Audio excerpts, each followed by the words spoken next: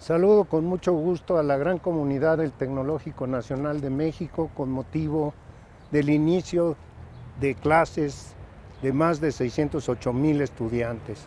Esta gran institución que empezó a forjarse con el nacimiento en 1948 de los institutos tecnológicos de Durango y de Chihuahua, se ha convertido ahora en la institución de educación superior tecnológica más grande de América Latina. De tal manera que a los jóvenes los invito a hacer su mejor esfuerzo, a formarse como profesionistas competentes y personas de bien, hombres y mujeres de bien.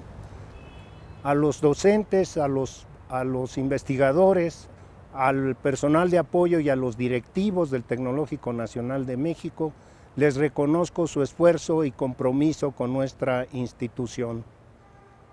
Con el inicio de este eh, periodo escolar, se inicia también un periodo de renovación y de transformación de nuestra institución. Estoy seguro que el señor presidente de la República, el licenciado Andrés Manuel López Obrador, considera al Tecnológico Nacional de México un elemento fundamental en el proceso de transformación de México. Es por eso que me enorgullece mucho que el presidente me haya conferido la responsabilidad de dirigir esta gran institución, a la que dedicaré mis mejores esfuerzos y todo mi compromiso en los años por venir.